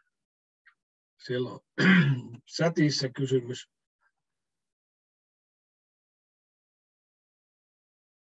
Joo, joo e, et ole ensimmäinen, ensimmäinen tähän akkoon ja käsittelyyn, niin tuon hermostunut ihminen. Mä oli tämä akkoja edustaja oli yhde, yhdessä meidän ekskursiolla ja, ja silloin opiskelijat kiusas aika lailla täällä Jätkäsaaren Woodsitin julkisivun ratkaisusta ja, ja, ja niin, niin, niin sehän meinasi meille suuttua, kun kyseltiin, että minkä takia tämä näin epämääräisesti käyttäytyy. Ja tietysti kaikki käsittelyt, niin voin suoralta kädeltä heittää, että ne tuplaa, tuplaa niin sen julkisivupuuverhoksen hinnan. Ja tässä on eräs syy, että sitten miksi Keski-Euroopassa ajatellaan erillä tavalla näistä, näistä käsittelyistä. eli, eli eihän ne ole ikuisia ja, ja ei niillä välttämättä saavuteta saavuteta sitä. No sitten on nämä perinnekonstit, että tässä on Kärsämään paanukirkkoa tehtiin ja ennenhän puuta piiluttiin ja sen piilukirveen jäljen ta- takaa niin, niin tuota, nämä puun solukkoja saatiin suljettua ja se oli yksi tapa, siinä oli esteettinen tapa, mutta myös se paransi, paransi hirven pitkäaikaiskestävyyttä. Ja tämä on mielenkiintoinen nykyisin, kun meillä nämä ei niinkään tehdä yhdestä tukista näitä nykyisiä massiivihirsirakennuksia, vaan se liimataan eri lamelleista, jotka totta kai niin parantaa sen kuosissa pysymistä ja parantaa halkeilun estämistä. Ja, ja sitten myös tätä painumista, että siellä on pysty, pystypuita välissä. Mutta edelleen, jos tämmöinen massiivipuinen puinen jötikkä on sitä säätä vasten, niin voi kysyä itseltä, että onko sittenkin järkevämpi, että siellä on se tuulettuva ja uhrautuva osa.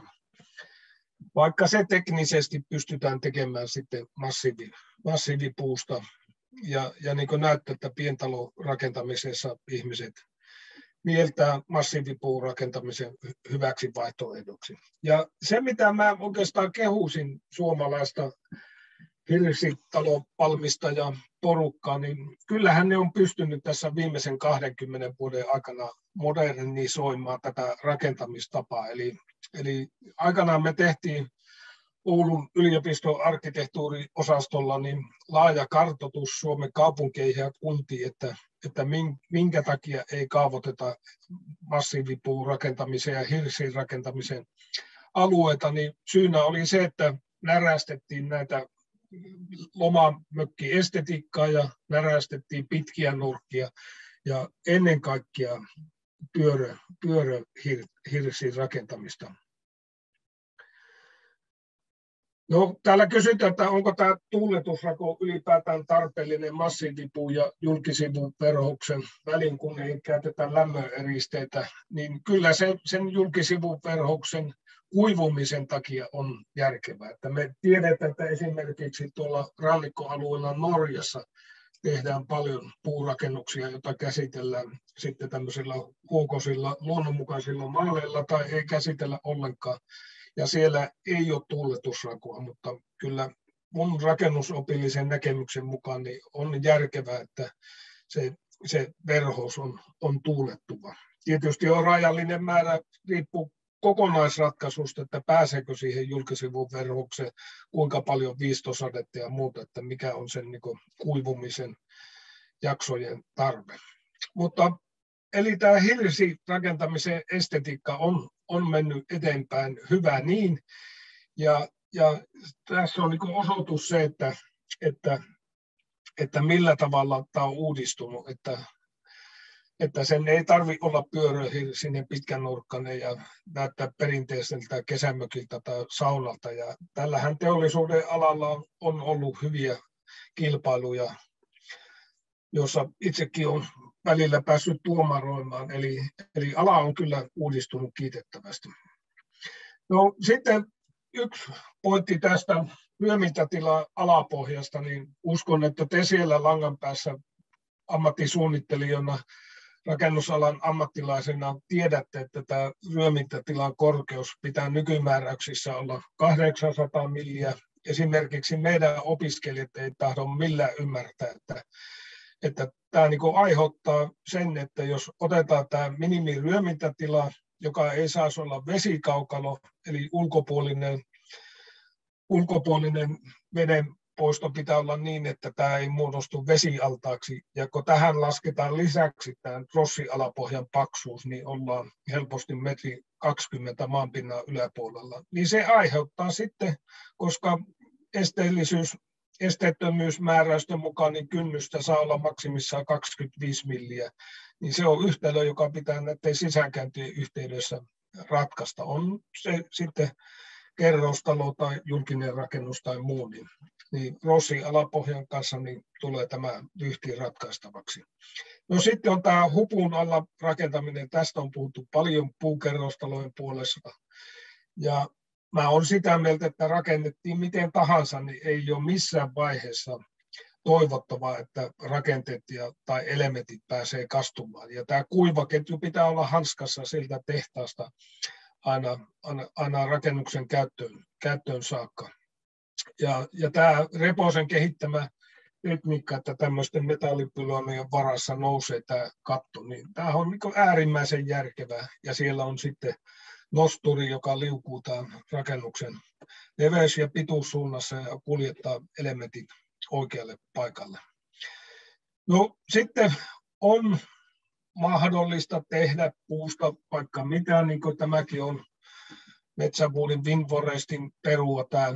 Nyt koitin selvittää, että mikä on pintakäsittely tässä, tässä kertopuulevyssä, että tämä pystytään tämmöinen rakennelma tekemään. Todennäköisesti siinä on joku, joku muovi, akryyli, käsittely, että saadaan niin sääsuoja, koska me tiedetään, että tuommoinen kertopuu, se imee, imee vettä niin niiden viilujen suunnassa. Tämä mä panin tässä itselleni muistiin, että mä selvitän tämän, tämän rakenteen pitkäaikais kestävyysratkaisu, koska tuossa on valtavasti liitoksia ja valtavasti on tämän kertopuulevyn syrjäpintaa, joka, joka niin perinteisesti imee helposti vettä, että mikä tässä on tekninen ratkaisu, että tämmöinen on uskallettu tehdä. Komeiko mikä ratkaisu, ei maailmaa halvin, mutta eniten askarruttaa tämä pitkäaikaiskestävyys. Siellä on sätissä, onko mua viisampi. Joo. Sitten on tällä siltapuolella, niin kuin puhuttiin, niin perinteisesti siltapuolella on pystytty käyttämään kreosottiöljyä, eli, eli sinne M-luokan kyllästeisiin. Ja, ja niin kuin on puhuttu, niin tämä puusilta rakentaminen tuolla meidän länsipuolella, Ruotsissa ja Norjassa on paljon, paljon kehittyneempää, ja siellähän on vaativia vuoristojen, purojen ja muiden ylittäviä osia. Ja, ja tietysti toivoisin, että tämmöistä teollisuutta tuli Suomekin. Me on nytten, nytten käynnistämässä tämmöistä puusilta projektia, jossa tehtäisiin loppausmateriaalia ja ohjausmateriaalia ja teknistä ohjeistusta puusiltojen tekemiseksi ja niiden määrän lisäämiseksi Suomeen. Jos käyttää Vihatasalmella, niin pysähtykääpä tuon Vihatasalmen sillan osalla ja huomatkaa, että sielläkin on tuossa puusillan kantavissa osissa on sitä uhrautuvaa puuosaa. Mutta niin, eihän nämäkään ikuisia ole, että ne vaatii, kun on kantava puuosa säälle, säälle sateelle, auringonpaisteelle, alttiina, niin kyllä se vaatii ylläpitoa, tarkistusta ja huoltoa. Mutta eipä nämä betonisillatkaan ole ikuisuja, eli kyllä niitä aika lailla pinkataan ja pinnotetaan ja teräsosia ruoste suojata, että kaikki rakennukset, rakennelmat vaatii ylläpitoa, huoltoa.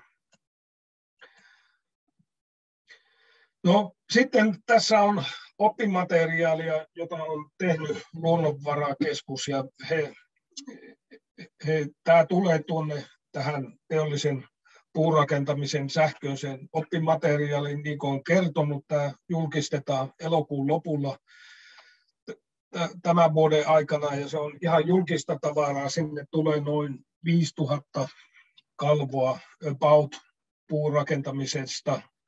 Mulla itsellä tässä neljän luentopäivän aikana on käyttänyt 486 kalvoa, mutta näitä tulee tulee sitten noin 5000 kappaletta ja, ja tässä on Luonnonvarakeskus tehnyt yhteenvetoa puurakentamisen pitkäaikaiskestävyydestä ja säänkestosta ja käännäpä nämä nyt läpi, nämä on ihan tuoreita. Eli pitkäaikaiskestävyydellä ja säänkestolla tarkoitetaan puuaineen kestävyyttä säärasitusta vastaan. Ja tässä säärasituksessa, niin kuin Arki teksteen nyt osoitettu, niin tärkeä ja tärkeimmät tekijät on tämä auringon UV-säteily, se haurastuttaa puun pintaa ja myös tämä lämpötilan vaihtelu ja nämä syklit, että puu kastuu ja kuivuu. Ja aina jos pääsee sadetta ja viistosadetta ja ylipäätänsä ilman kosteus vaikuttaa tähän puun käyttäytymiseen. Ja miten se vaikuttaa, niin se ligniini hajoaa pinnasta valon takia ja, ja sitten tämä harmaantuminen ja nukkaantuminen on, on puun ominaisuus, eli ei sitä kokonaan päästä, päästä pois. Eli sen takia tämä rakenteellinen detaljien tärkeys tulee niin arvoon arvaamattomaan. Eli, eli joka tapauksessa puu on elävä, elävä huokonen materiaali ja siinä tapahtuu halkeilua, säleilyä ja muodonmuutoksia. No sitten on tämä biologinen kestävyys, eli puhutaan puun biologisesta kestävyydestä näitä eläviä organismeja vastaan, ja näitähän me liipattiin siellä puun materiaaliluennossa, eli on lahottajasieniä, jotka hajottaa tätä selluloosaa ja ligniiniä. Sitten on näitä havun puutavarassa on näitä ruskolahottajia, joista lattiasieni on yleisin. Ja muistutuksena vielä, että kaikki nämä tarvii optimi lämpötilan, eli tätä ei tapahdu pakkasella nollan yläpuolella eikä sitten valtavan, valtavan suuressa lämmössä. Eli tarvitaan vettä, happea ja sitten sopiva lämpötila. Ja tämä kosteus on edellytys kaikille näille homeja sinistä ja sienille. Ja esimerkiksi tämä puun sinistyminen, niin se on sinistä ja sienen aiheuttamaa puun värjäntymistä, eli se ei ole homehtumista eikä lahoamista vielä, mutta indikoi kuitenkin, että siellä on, on joku sieni ja, ja kosteutta on olemassa.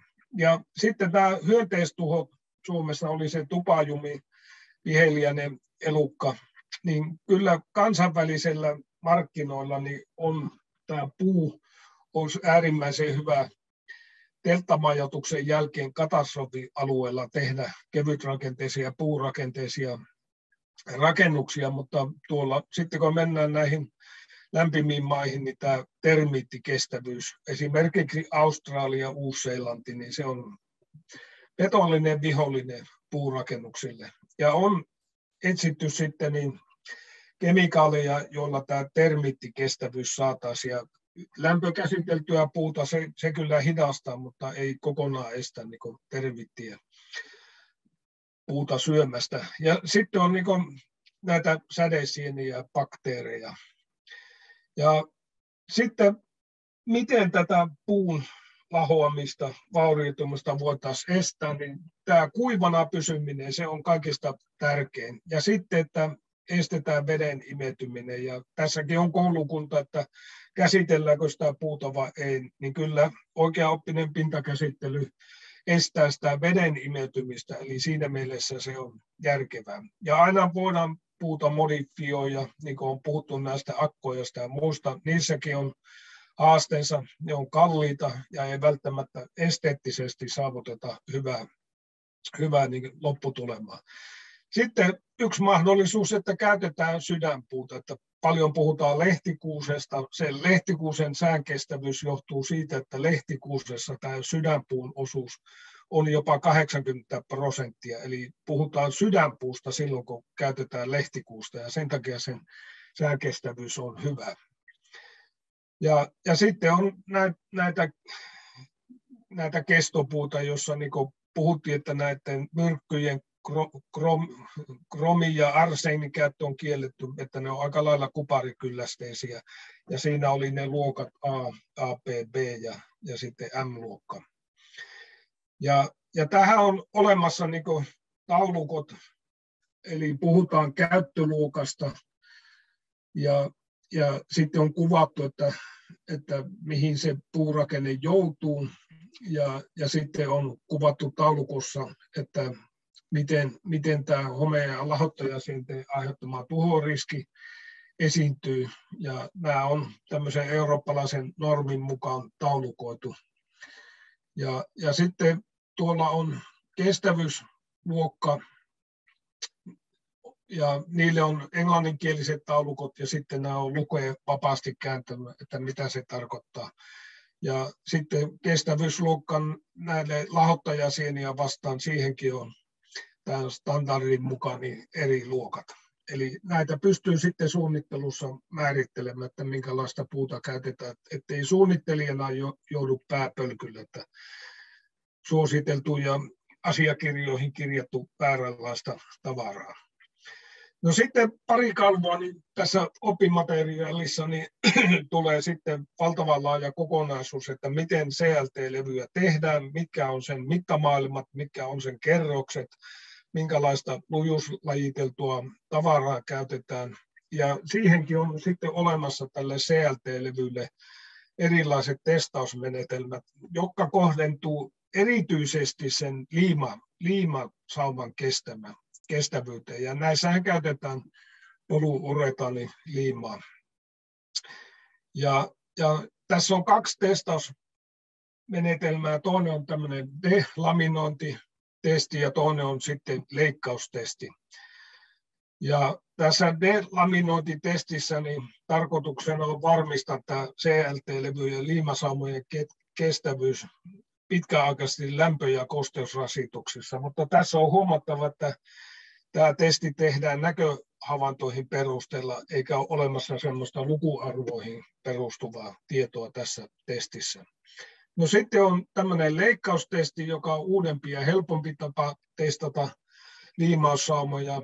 Eli leikataan tästä testattavasta levystä tämmöistä 40 kertaa 40 kokoisia koekappaleita ja, ja sitten tämmöisessä koneessa yksitellen leikataan nämä saumat irti ja sitten niin tämmöisen logaritmisen asteikon perusteella niin, niin tota, annetaan mittaustuloksia.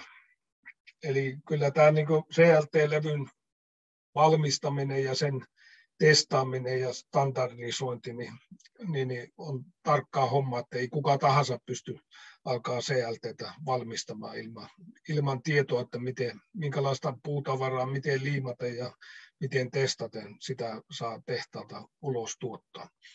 No sitten pari viimeistä kalvoa, niin jos teillä ei ole kirjahyllyssä tai ei ole ladattuna tämä puutavaraopas, niin kehotan, se on tuolla Puinfon verkkosivulla, ja se on äärimmäisen hyvä kokonaisuus siitä, minkälaisia puutuotteita on, ja kaikki nämä taulukot, mitä minäkin näissä esitelmissä olen käyttänyt, niin se on, se on kyllä hyvä opas. Se on ihan hyvä opetusmateriaalina. Se on ihan hyvä, jos meitä rautakauppa tai puutavarakauppa tai jos teet omaa remonttia, niin siellä, sieltä löytyy kyllä niin perusmöykky puusta, rakennusmateriaalina, puutuotteista, puun sahauksesta, insinööripuutuotteista, näistä näistä pintakäsittelystä ja, ja muista. Eli suosittelen tuon, tuon lataamaan ja se on myös puuinfolta saatavissa niin tämmöisenä puulehtimäisenä julkaisuna. Se on aika tuore 2019 tehty ja, ja siellä havainnollisesti näytetään, että minkälaisia puutuotteita mihinkin rakennusosaan tulisi käyttää ja suositeltava käyttää. Ja viimeinen kalvo tässä, niin, niin suunnittelu on monen asian summa ja, ja mielellään se pitäisi olla niin, että se on toiminnallista suunnittelua. Tietysti rujusta on aina hyötyä, pitää tietää mitä on tekemässä, mutta sitten, että kelle tehdään, pitää kuunnella käyttäjiä, pitää osata määräykset, pitää mukautua muutoksiin, kyseenalaista tottumuksia ja, ja sitten katsoa ratkaisua useista eri näkökulmista. Ja kyllähän tässä puurakentamisessa samaten on, että kun tehdään valintoja, niin osa on kalliita, osa on pitkäaikaiskestävämpi, että missä kulkee sitten se raja, raja mitä valintoja tekee. Ja, ja kun keskustelee rakennuttajan tai rakennesuunnittelijan kanssa, niin, niin yhteispeliähän tämä on. Ja aina pitäisi osata ennustaa, että mikä on rakennuksen käyttöikä ja voidaanko sen käyttötarkoitusta myöhemmin muuttaa ja mihin sen pitää mukautua. Ja ehkä nyt, vaikka toivottavaa on, että pystyisi ennustamaan sadan vuoden päähän, niin pitäisi pystyä ainakin ennustaa sinne 50 vuoden päähän, että tehtäisiin pitkäaikaiskestäviä rakennuksia. Kiitoksia. Tämä oli viimeinen kalvo ja onko nyt kysyttävää mielellään, mielellään vastaan? Taisi tulla jo käsiteltyä noin chatin kysymykset tuossa noin. Niitä oli tullut tällä kertaa monia, kiitos niistä, ne oli hyvää keskustelua aiheutti. Tota, ää, aikaisemmin oli puhetta siitä ää, ilmansulkuja tota, riittävyydestä ja tässä tervapaperiasiasta, niin, niin, niin en nyt ihan sanatarkasti muista Markku mitä vastasit, mutta tota, niin, niin, ää, kun puhutaan niin kuin pientalo- ja perinnerakentamisesta, niin tilanne on, on vähän toinen kuin se taas, jos puhutaan näistä tässä teollisesta rakentamisesta, jossa, jossa niin mennään nykylämmöeristysmääräyksillä, niin tässä kohtaa vähän niin kuin muistuttaisin sen, että niin se, kun ö, tota, lämmö, lämmön määrä kasvaa, niin se energiamäärä, mitä rakennus käyttää itsensä kuivattamiseen tai ulkoiseen kuivattamiseen myös silloin vähenee. Eli kun lämmöhukka vähenee, niin, niin, niin se ei myöskään kuivumiskyky ei ole samalla tasolla, niin sen takia niin, niin, niin ää, teollisessa rakentamisessa on syytä aina tarkastaa laskennallisilla menettelyillä, että et, et, ää, se on kosteusteknisesti toimiva se jul, tota, koko ulkoseinän rakenne. Eli siinä mielessä niin, korjaa Markku, jos on väärässä, mutta niin kun tässä teollisessa puolella niin käytännössä tota, tervapaperi ei riitä niin käytännössä ikinä niin pelkäksi tota, tota, höyryn suluksi tai niin kuin tiiveyden vahvistajaksi, vai tiedätkö kohteita, jossa sitä olisi, olisi käytetty tällä tavalla onnistuneesti? No käytetään pientalon rakentamisessa ja tiiviin levy ja maalauksen kanssa, niin se, se nyrkkisääntö, että sen sisäpinnan höyryn vastus on viisinkertainen verrattuna ulospäin, että sen rakenteen pitäisi arveta, mutta kyllä käytännössä teollisessa rakentamisessa näiden lasivilla ja kivivilla kanssa, jotka ei pysty sillä tavalla imemään kosteutta siihen solurakenteeseen, niin on järkevämpi käyttää muovia. Että kun monet mieltää tämä hengittävyyden sillä, että siitä vinkka käy seinässä, eli sehän ei tarkoita sitä, että aina pitäisi rakenteen olla vähintään ilmatiipis. Eli jos se on ilmavuotoja, niin sitä kautta menee kosteutta ja epäpuhtauksia rakenteisiin ja jos menee kosteutta, niin aina on se kosteusriski ja lahoamisen ja homehtumisen vaara olemassa. Joo, eli tuosta ton, ton, niin johdettuna, niin hallitsemattomat ilmavuodot on aina riski, koska sieltä menee liian nopeasti kosteutta ja ilmaa lävitte. Silloin taas, kun tehdään tämmöistä niin kuin, niin kuin sitä viivyttävää, eli niin kuin tämmöiset tervapaperillakin, niin se on tarkoitus, että niin kuin hallitaan se, että mikä se nopeus on sillä ilman ja kosteuden siirtymisellä, niin silloin niin kuin sitä voidaan saada se toimiva rakenne. Tuossa oli ky- kysymys tullut, voiko purettua CLT tai liimapuuta käyttää uudelleen rakentamisessa ja kuinka pitkään, jos vaikka haluttaisiinkin talo uuteen paikkaan. Tiedätkö Markku, onko tästä jotain no, kokemuksia no, tai ajatuksia? No se, CLT on sen verran tuore keksintö, että sehän joku 25 vuotta vanha keksintö ja totta kai käytetään liimapuupalkkeja uudelleen. Että mä en tiedä, osa on skeptisiä näiden liimojen suhteen, että kauanko ne kestää, mutta jos se on hyvässä kuusissa eikä ole happarantunut ja muuta, niin mikä ettei. Mutta totuus, se... totuus on, että CLT niin uusiokäytöstä pitkäaikaiskestävyydestä ei ole vielä kokemusta, koska se on sen verran tuore 25 vuotta vanha keksintö.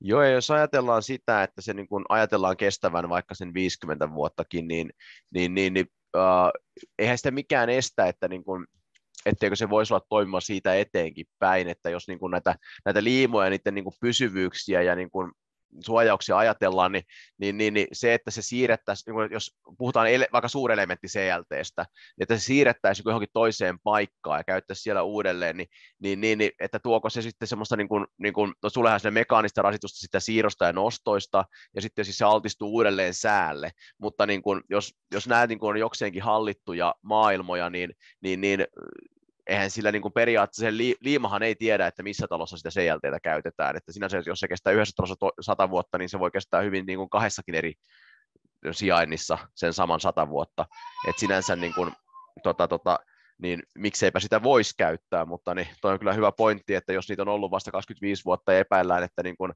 ainakaan alle 30 vuotta vanhoja taloja ei pureta, mieluummin alle 50 vuotta vanhojakaan, niin, tota, niin, niin mistäpä sitä kierrätettyä CLTtä vielä saisi.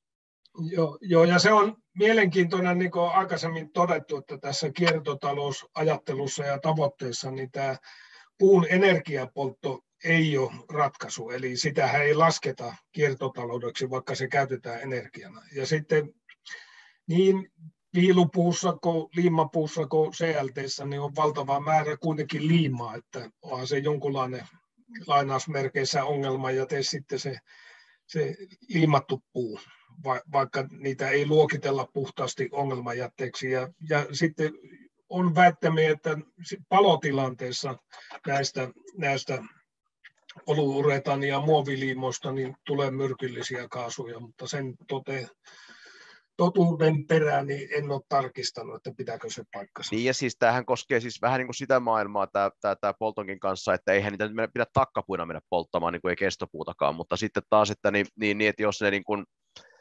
hävitetään oikeanlaisessa laitoksessa, niin, niin, niin, niin jos sitten on niin kuin näiden myrkkykaasujen talteenottoja ja muita tämmöisiä systeemejä, niin silloinhan se ongelma niin kuin ei, ole, ei ole ihan saman luontoinen, että niin kuin että et en menisi muuten itsekään polttamaan maalattua puuta niin kuin ihan tuosta noin vaan niin, niin, niin, omassa takassani, mutta tota, taas sitten niin, niin, niin, että se, että jos sitä poltetaan Tarastejärvellä, jossa nyt sitten on vähän niin kuin teollisemmat kuviot siihen ja mahdollisuus käyttää putsareita, niin, niin, niin, niin se herättää vähän enemmän luottamusta jo sitten. Joo, mä muistan, 75 rakennettiin kotitalo Olujokin varten ja siellä käytettiin lastulevyä seinissä ja poltettiin sitten puukiukaassa niin nämä lastulevypalaset, niin se palo niin reilussa vuodessa niin metalliseenät puhki siitä kiukasta. Eli vaikka oli kielletty, että ei, ei saa lastulevyä polttaa, polttaa niin omissa tulipesissä, niin, niin se vaan kuumalla liekillä palaa. Jännä juttu joo, että sitä joku siltikin polttaa, vaikka joku toinen sen kieltäisi. Niin. Mutta toi on hyvä esimerkki. Joo. Yes, tota, uh, sieltä kierrätyksestä vielä tuli semmoinen mieleen, että niin, niin niissä liitosdetaljeista, Markku, kun niitä tunnet, niin tota, uh, jos esimerkiksi vertaa betonitaloon, niin, niin, niin betonitalossa kun ne uh, tulee noit sidospisteet, ja tota, niin nehän käytännössä juotetaan kovalla betonilla umpeen, jolloin se tulee pitävä liitos, mutta tota, jos sitä purettavuutta miettii, vielä niin purettavaksi suunnittelua miettii tätä tämmöistä koulukuntaa, niin nämä CLT niin kuin kiinnikkeet ja kiinnittäminen niin kuin, ja näin eteenpäin, niin, niin äh, mikä semmoinen niin fiilis olisi detaljeista, että onko ne niin kuin, niin kuin jo nyt paremmin purettavaksi suunniteltuja verrattuna esimerkiksi betonitaloon? No niissähän liitoksissa käytetään ensinnäkin ään, ääneeristys niin siellä käytetään tämmöisiä, tämmöisiä ääneeristys niin kaistoja, mutta yleensä siellä käytetään sitten ruuvikiinnityksiä ja metallikulmalistoja ja muita. Eli sillä tavalla ajateltuna, niin, niin nehän on ne ruuvit ja metallikiinnikkeet, niin ne on periaatteessa purettavia. Mut, mutta niin, sittenhän siellä on paljon, paljon kipsilevyverhouksia ja kaikkia muuta pinnotteita, että ei se ihan niin yksinkertainen juttu ole jonkun puukerrostalon purkaminen ja kierrättäminen. Joo, semmoista ei vissiin vielä olekaan, mutta se, tota, että kun oikein helposti purettavaksi ja kierrätettävä. Eveliinalla on käpälä pystyssä. Ole hyvä Eveliina. Joo, sen verran voin kertoa, kun käytiin siellä Kuhmoreissulla ja päästiin siellä Elementtisammon tuotannossa tutustumaan, niin me ryhmänä kuultiin se, että jos kysyttiin tätä kierrätettävyyttä näiden tilaelementtien osalta, niin olivat siellä ainakin tehtaalla vielä sitä mieltä, että tarvitsisi paljon kehitystä, jos näin tulisi tapahtuun, että just kiinnikkeet ei toistaiseksi ole vielä niin kehittyneet, tai ovat, mutta ne, ne ei ole niillä käytössä. Ja sitten se, että, että jos niin lähdettäisiin purkaa näitä tilaelementtejä myöhemmin ja siirtämään, niin kyllä ne repee niin pahasti, pahasti sit ne liitokset, että ei onnistu tällä hetkellä, mutta tulevaisuudessa ehkä. Niin sehän on, miten että halutaan jatkaa suunnittelua, koska siis tällä hetkellä noita esimerkiksi ää, tilaelementtivalmistajat, jotka näitä päiväkoteja ja kouluja tekee, erikseen firmoja nimeämättä, mutta kuitenkin, niin, niin, niin nehän siis vuokraa sen rakennuksen esimerkiksi kymmeneksi vuodeksi tai jotain sinne päin yhteen paikkaan, ja sitten sen jälkeen siirtää ne elementit uuteen paikkaan ja kunnostaa ne kuntoon. Eli niin kun, ja niin sanotaanko, että pöydän alta saatujen tietojen mukaan tämä on silleen niin kuin järkevää bisnestä, että et, et, ää, toimimalla tässä vuokramaailmassa, niin, niin, niin he, he, niin kuin, he tekevät sen, sen verran parempaa tulosta kuin, niin kuin mitä he uskoisivat tekemänsä urakoinnissa, eli myymällä ne tilaelementit niin kokonaan pois. Että tota, et, et, tämä purettavaksi suunnittelu yhdessä tämmöisen niin kuin, niin kuin palvelumallin kanssa, niin muodostaa niin kuin järkevän kokonaisuuden niin kuin bisneksenkin kannalta. Et sinänsä niin, niin, niin, niin taloudellisuusmielessäkin tässä olisi kyllä niin kuin mun nähdäkseni ihan mahdollisuuksia. Kyllä. Mutta, niin, oliko vielä kysymyksiä esimerkiksi yleisöltä mahdollisesti tähän?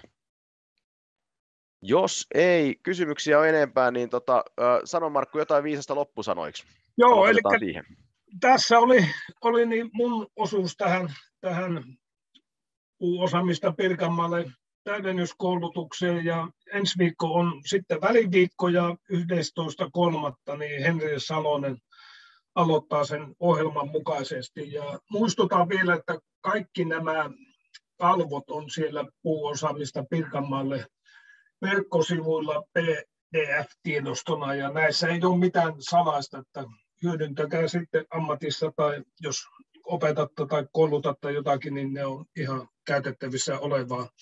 Ja muistutan vielä, että elokuun lopussa tulee sitten julkistetaan tätä tämä valtavan laaja sähköisen puumateriaalin oppimateriaali kokonaisuus. Eli siinä käsitellään hyvin laajasti tätä teollisen puurakentamisen vyyhtiä. Eli siinä oli, niin kuin aikaisemmin näytin niillä ekaluennoilla, niin onko siinä 15 eri osa-aluetta, jossa tätä teollista puurakentamista käsitellään. Niin se on hyvä tietopankki ihan suunnittelijoillekin sitten ja on vapaasti käytettävissä.